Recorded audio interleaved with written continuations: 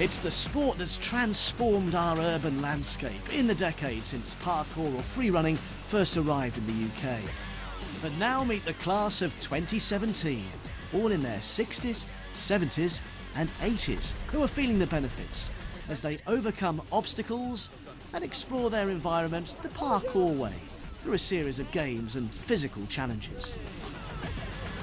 Parkour has come such a long way, hasn't it, in the last decade, since it was the domain of young males looking to do really dangerous things on tall buildings. So now it's for all, including George, who's 88 and uh, is enjoying swinging there. George, how was that? All right, Yeah, I did like the swinging. Yeah. As you get older, I think you get lazy. I haven't been doing any for a year, so I've been getting very lazy. That I, getting up that I don't want to move.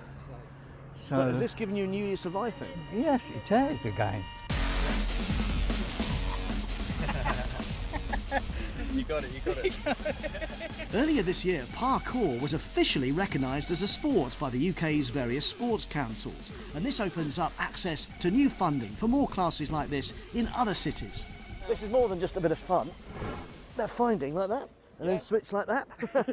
that this is actually helping to prevent people from falling in later life. We found balance and strength in particular is what's been um, kind of improving the most in the body. And so we've had a lot of people say that they've um, it's helped them to not kind of fall and to be less fearful of just going out and doing everyday today activities.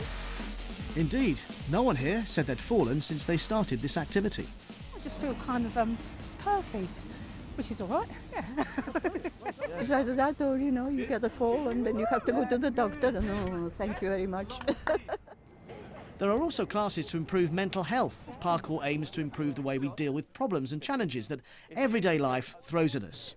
Parkour is such an inclusive sport because there's no competitive behaviour and there's no entry level. So it really just makes it a playtime for anybody who wishes to learn. I think this is excellent, really.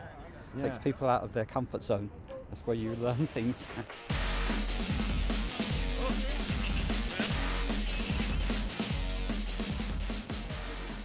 Well, this is a very friendly exercise, isn't it? Our final exercise was to pass each other along a very narrow wall. Fall off here and we'd be in trouble. We'd come together, explored and got up close and personal with nature and our surroundings in a way we'd never thought possible before. This is a long way from that extreme image many of us have of parkour, but the sense of achievement was just the same.